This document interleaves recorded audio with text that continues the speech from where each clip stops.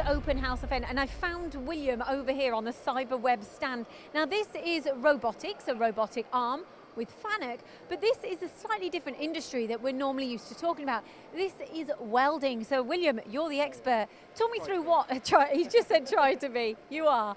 Uh, talk me through what's happening here. Uh, so the first one we're looking at, it's, it's just tracking a V-groove. Uh, we search it with a laser and then we track it. Reason why we're using a laser is the specific customer don't know where their part starts and don't know where the part finishes, so the laser finds it and tracks it and welds it. Uh, the second one is similar, but we're doing it with a lap joint. And uh, the main reason why we're advertising that is the reflections we're getting from the laser is getting covered. Uh, usually with older lasers, the reflections would be a problem. You're getting reflections from the laser, it's a big problem. But for that one, it's showing a shiny surface and we're still getting what we need. And you've got a little bit of a curve here. I don't know if we can bring the camera around right, just yeah. really, really slightly, but here it's actually following a curve on a line. Right, so yeah. what's different about this? Because, you know, a human can do this. So what's the benefit of using a robotic arm? So what I've told the robot to do there is to just to go from two points over the part.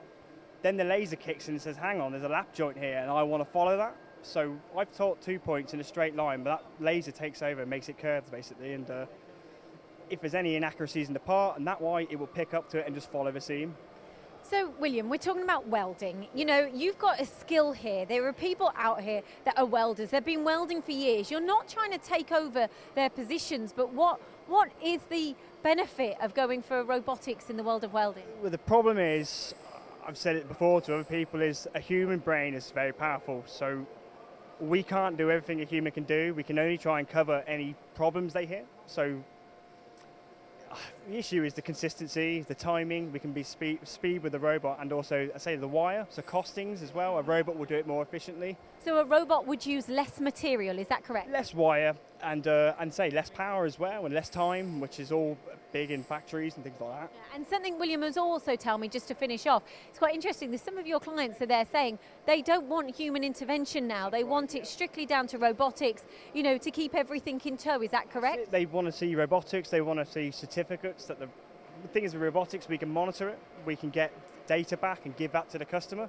So instead of a human saying, oh, it took me 30 minutes to do this, a robot could give you the exact time, exact power, and exact method it's done it, and pass that on to their customer as well. Yeah, that's quantifying automation, really. Yeah, yeah, yeah. We can be more efficient that way and, and see where they can be better. Wonderful. Thank you, William. Cheers, no worries.